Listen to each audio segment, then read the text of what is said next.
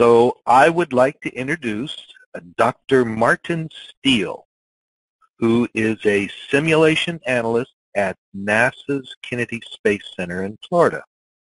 His primary responsibility is the NASA standards for models and simulations. He leads an agency-wide team in developing standards, implementation, implementation guidelines, and best practices for developing models and simulations. Martin has over 40 years of experience with NASA and the U.S. Air Force. He has degrees in electrical engineering from Ohio Northern, a master's in simulation modeling, and a PhD in industrial systems engineering, both from Central Florida. Please welcome Dr. Martin Steele.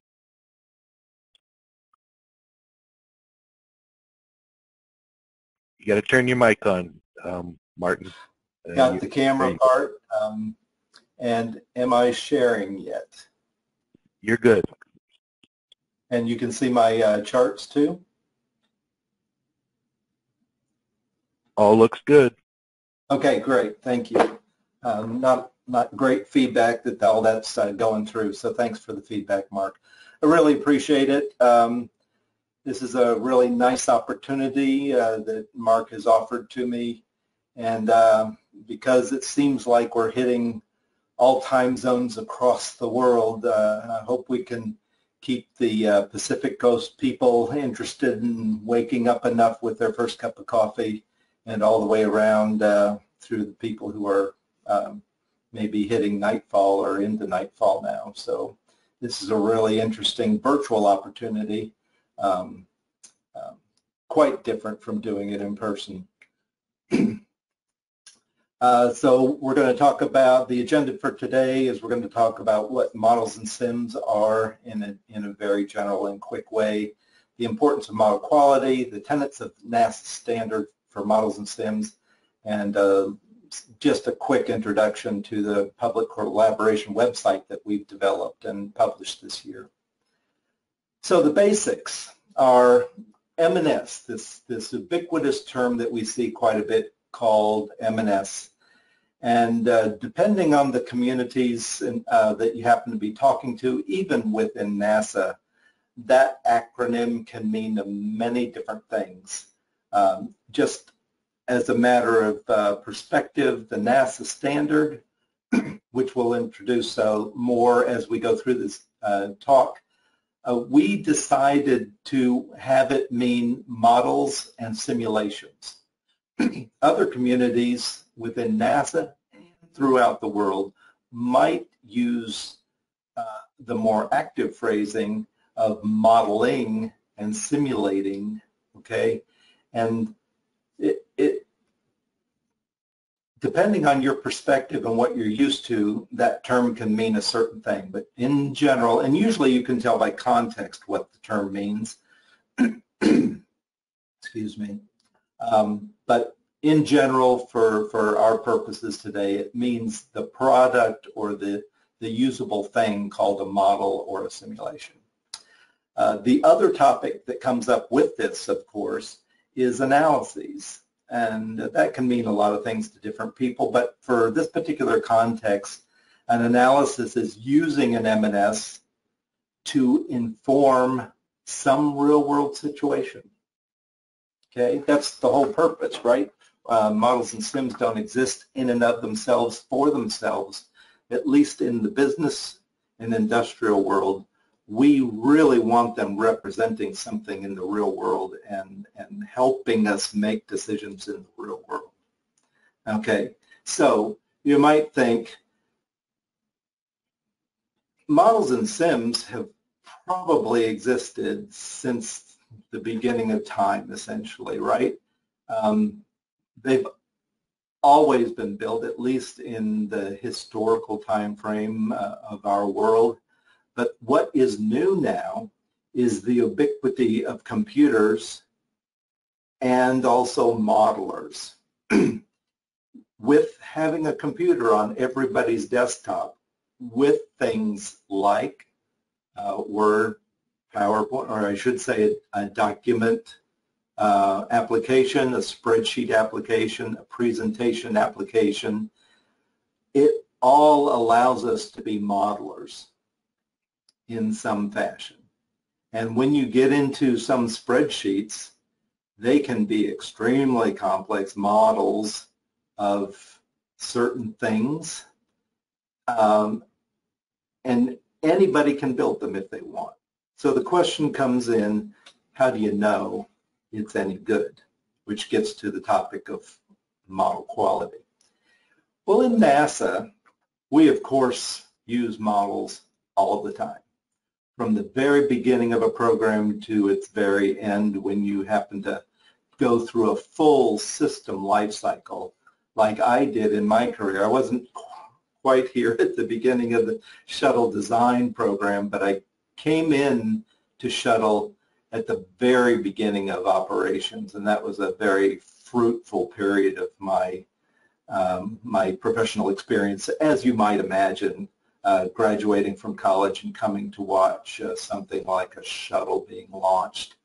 Um, so we use them all over the place, from manufacturing to launch processing and launch itself through the mission and into landing. And I like to keep these pictures positive.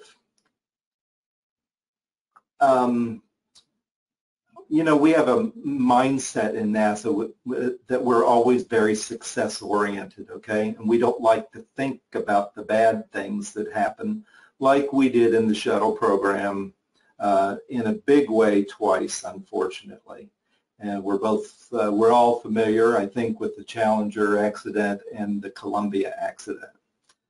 Um, even so much so that when we think about things when, that we're modeling, uh, and this is a true story, believe it or not, uh, we wanted to put something in the handbook in particular that goes along with our standard that is a standard engineering uh, thing called an exploded diagram. We included the diagram, we had some text to go with it in the handbook, and we labeled it an exploded diagram. And there were more than one fairly stern comments that came along with that, that we in NASA don't want anything to do with an exploded diagram of anything. So I was strongly encouraged by my management to come up with another term, and we call those things now expanded diagrams. So the history of our NASA standard started from the Columbia accident in 2003. There was a couple of uh, uh, subsequent uh, reports that came out, studies and reports that came out, along with an action that said NASA shall um, develop a standard for models and for the development and use of models and simulations. And we published the first version, the baseline version in 2008. Um, and it followed a few years later by a handbook. And then we went into a, a fairly typical five-ish year cycle of revising the standard should it need to be done. Okay, so we published Rev A, Rev A in 2016, followed by the handbook, and we are, you are here just prior to us getting into the publishing of the Rev B standard.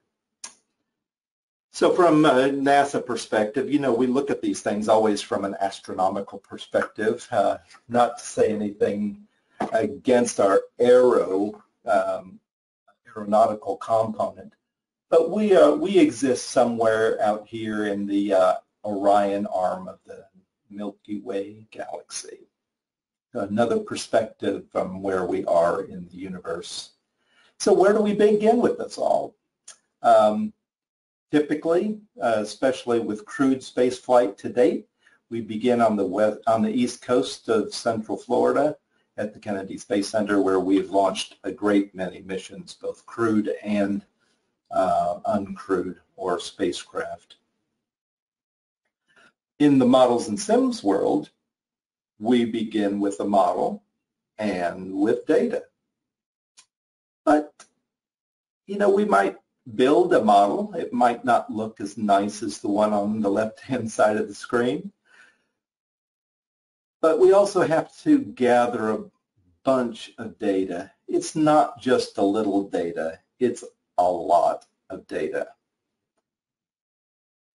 And we ask ourselves then, what comes first? It's that proverbial story of the chicken and the egg. What comes first, the model or the data? And that's always an interesting point of contention with people. Um, and then you have this set of modelers out there who are typically engineers or scientists, but not always. Uh, models can be built just as well by economists or uh, designers of any kind. Uh, but what the customer really wants are credible results so that they may take positive action um, with those results with respect to the real world system that the model represents. Okay? So the, we have this life cycle for a model. If you ask developers of these things, they would like the life cycle to be this simple. They would like to say, we develop the model, then we use it, and all goes on. And when they're presenting to their customers, they show things that they are very proud of because they've spent a lot of time in doing it. And they always think, aren't these results great? How can you not accept this model or this analysis of these results, right?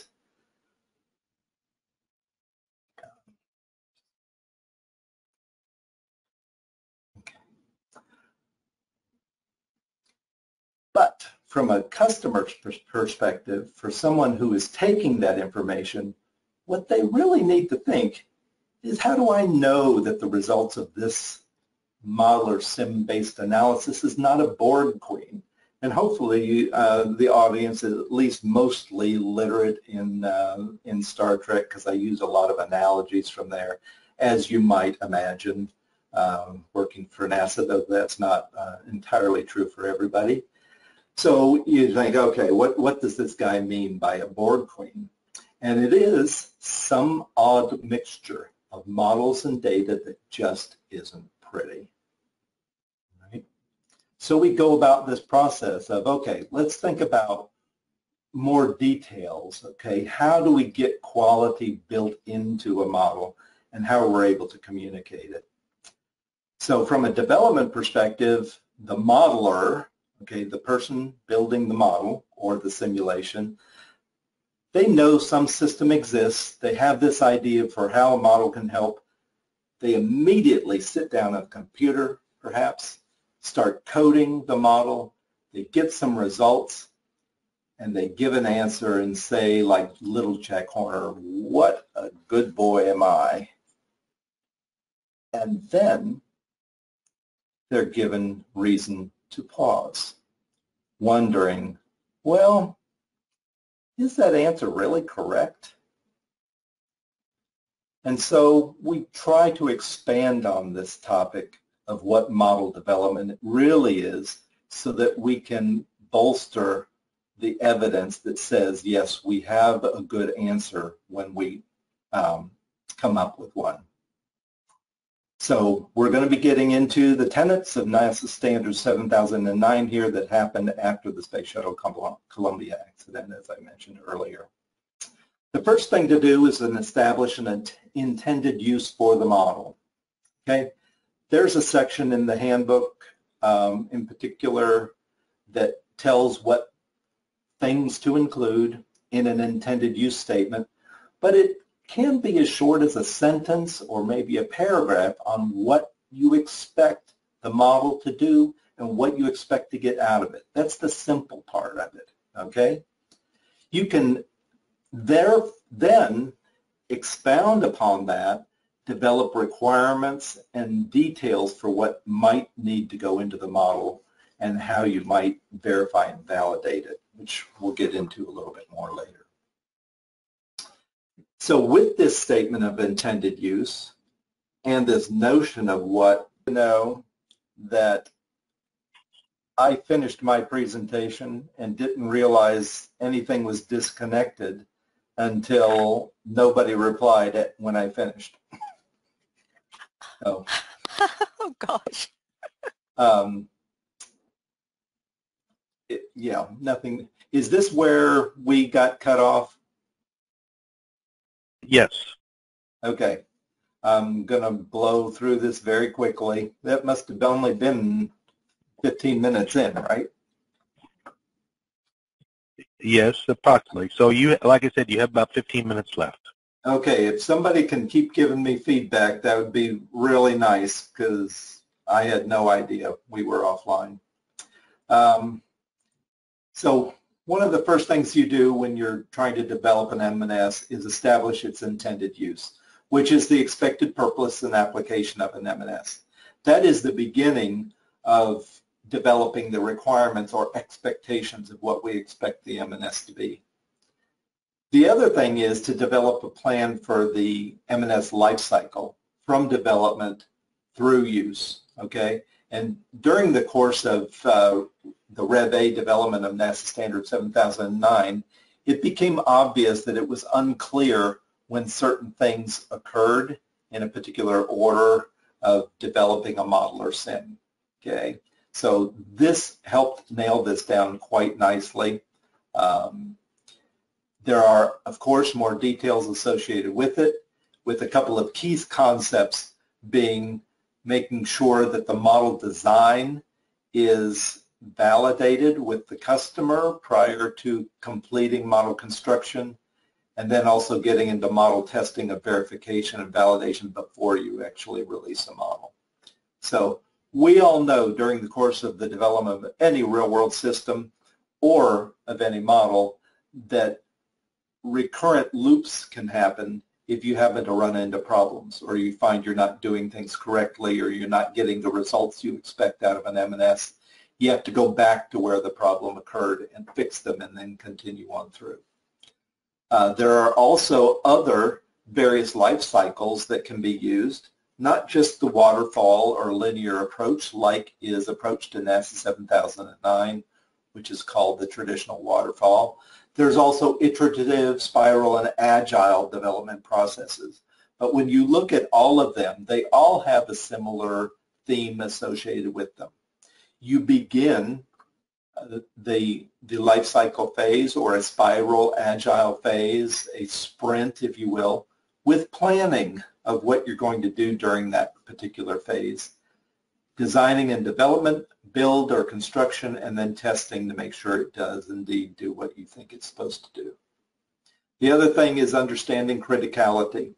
Um, the, we developed this, you've probably seen 5 by 5 matrices before, but the intention of a criticality assessment is to communicate, okay, what the decision consequences associated with the modeler sim might be, okay, and how much influence the M&S results has on, that, on a particular decision. Okay, and I'm going through this really quickly, second time through. Uh, the other key concept is making sure there is evidence available to the model practitioners or the customers, okay, because the only difference between screwing around and science is writing it down. And by writing it down, we mean keeping a record, an artifact, something in a database perhaps. The word of the, of, this, of the decade right now is metadata, okay, which is all very much the same thing. It's done in a slightly different way. But we've had metadata, or we've had documentation in the past um, up through now. The standard includes quite a few requirements on documentation, some recommendations as well. Okay, so the idea is during the process of the life cycle phases of development, you gather up these this list of things, you know, starting out with that intended use and an understanding of criticality as you go through and build up getting the operational model in hand before you enter the model use phase. Okay. Once you are in the model use phase, it is really important to understand what the proposed use of a model might be, assuming it's different, okay, from the permissible uses that have been uh, determined at the end of uh, the development cycle of a modeler sim. So making sure that the model is going to produce what is needed for a particular proposed use, okay, with the appropriate accuracy and precision. Okay, so we have these results that come out of a modeler sim.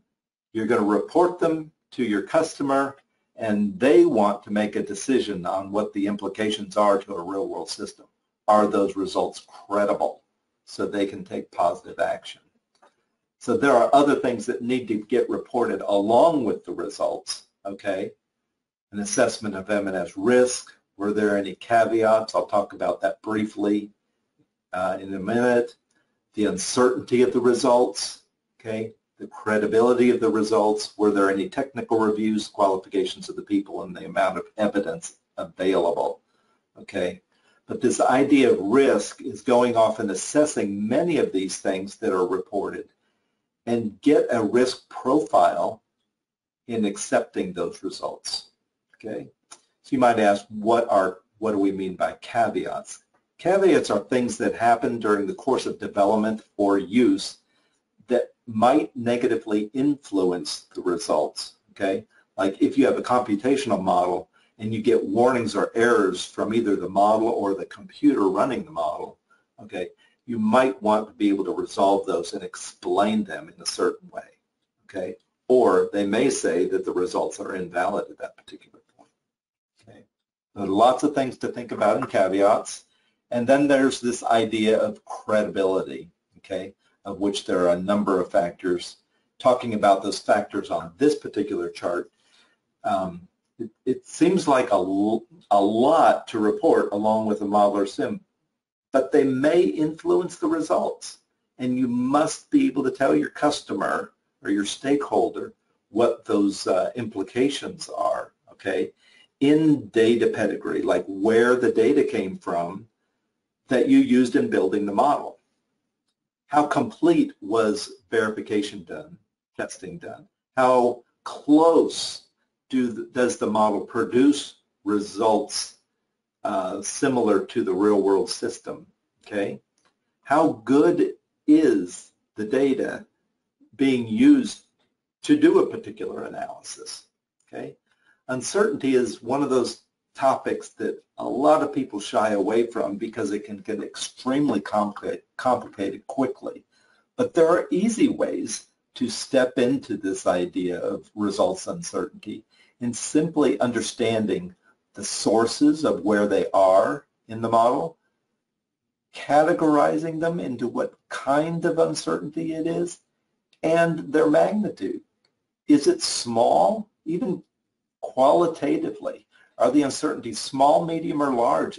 Is a step towards understanding them a whole lot better before you get into the statistical analysis that many books have been written about in results uncertainty.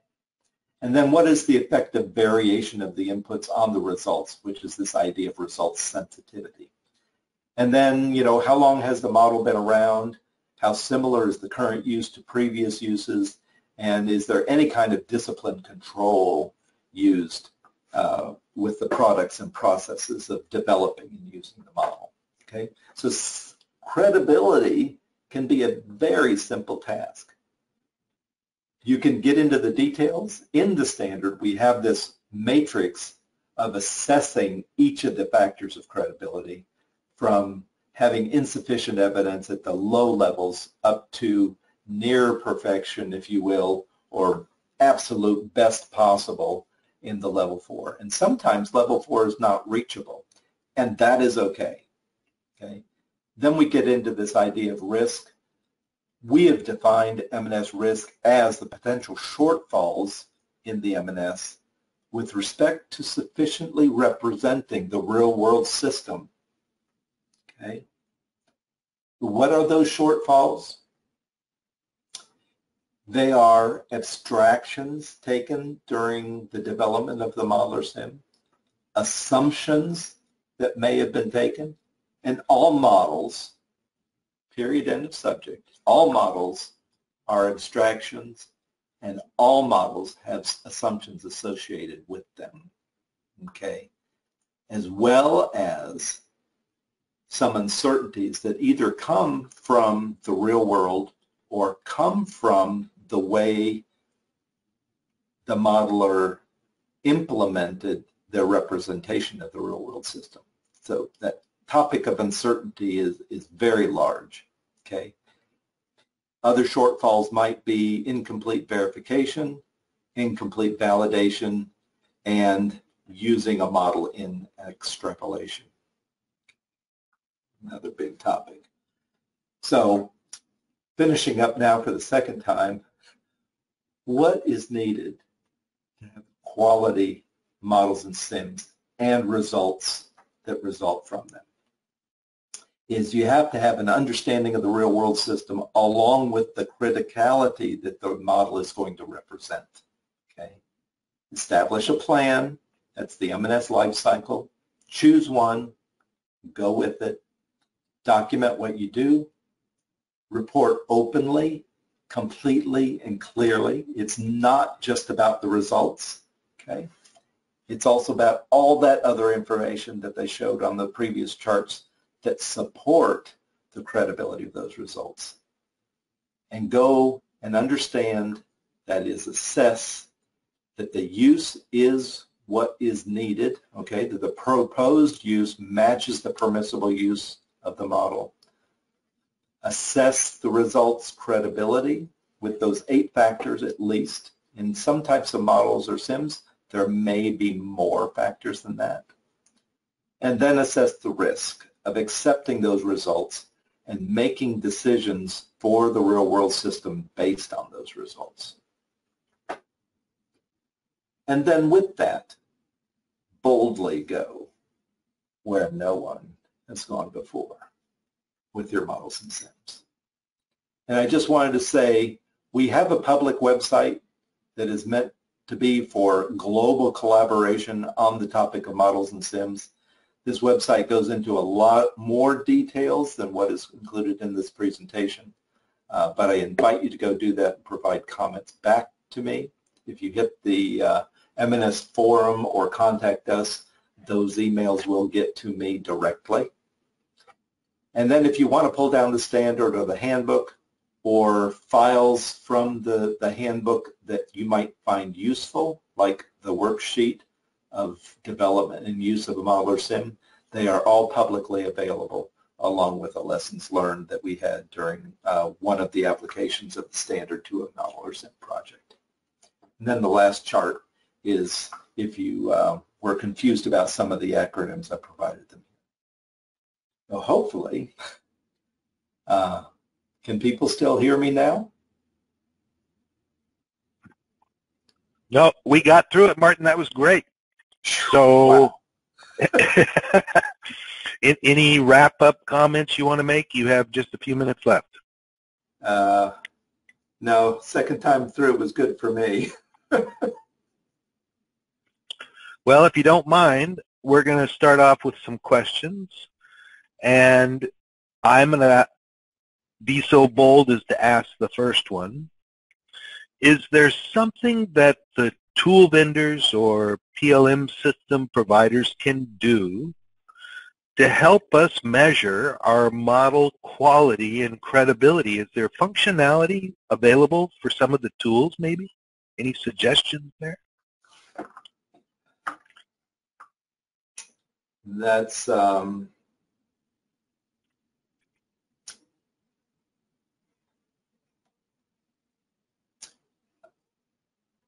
Tough, tough question because it's very broad. Um, but I would, I'd say the first thing that really comes to mind is being very clear on the limits that the model can represent, okay? So that it's easy for a model developer to say, I can use this feature or this component that is available in this particular application, but um, its limits, like its, its ranges of values that you can use in a particular um, uh, parameter or variable are very clear. And that, that's not always the case. Uh, you know, they, they, uh, the vendor will provide, oh, here's the parameters for this particular modeling block, let's say. But you, you don't know what the upper and lower limits of that block necessarily are all the time. And that's absolutely critical to know that we shouldn't be using this particular modeling item um, with, with variable uh, values or parameter values below or above certain points. Um, that's the first thing that comes to mind, Mark. Okay, that, that's, a, that's a good answer. So I was kind of baiting you for the question about how important is it to be able to manage metadata that's associated with these models? Many of the slides that you shared describe some of the metadata that is associated with these models. Yes, they certainly do, and and that is the proverbial $64,000 question, right? So yes, I provided a lot of information in here, and managing all of that is not the task of NASA Standard 7009. Somebody has got to go do that. Uh, there's got to be mechanisms uh, for doing that. And the simpler and the easier the better. And there are a couple out there that, that I have been made aware of. I believe you were presenting on one called uh, MoSSEC and, um, yeah. and, and ShareSpace. That is certainly one way uh, to do that. There are others that are getting developed out there in the world. But management of all that data and being able to um, keep with that the um, the understanding of credibility associated with that data is is also very important because it, if you have a number out there that's in a database and it's the number's five, how does anybody know that number's any good? So there has to be supporting evidence of what, of what that number is and where it came from.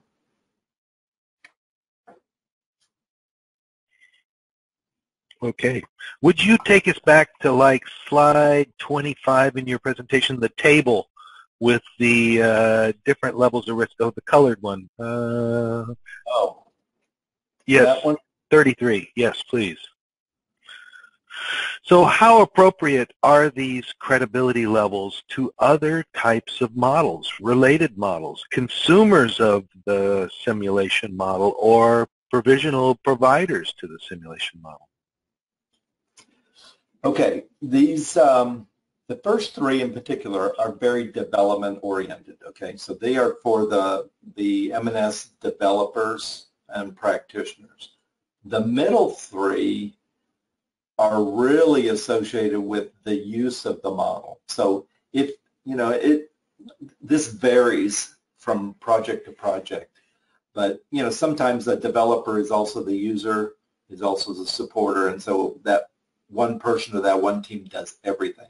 But if you have handoffs, uh, that's where you would split these out. Now these these um, this these two columns on supporting evidence really apply to both development and operations. Okay, because understanding the history of a model and the process product management should be done throughout the entire life cycle. Uh, so very appropriate, uh, again, the development ones for developers, the, the operations ones for users. I hope I answered your question. No, very good. Thank you. Okay. So Cheryl, I, I, I don't see any other questions. Go ahead. Yeah, Mark, this is Kenny. Uh, so Kenny on uh, one of the panelists here. And uh, this discussion is fascinating, and, and I'm I'm struck by the really the focus on the need to, to understand really your data, the provenance of your data, and and the pedigree that goes with it. I'm curious, um, Martin, if you've heard of ISO 8000 data quality. Yes, I certainly have, and and that we there's definitely um, overlaps of the Venn diagram circles with that because, you know, in, to some people, uh, models are nothing but data, okay? So, um, and then others would split that here a little bit, say models are models, and data is used to make models. But uh, yeah, there, there's certainly some overlap, and we can we could definitely do with some more um, uh, discussions between the two communities.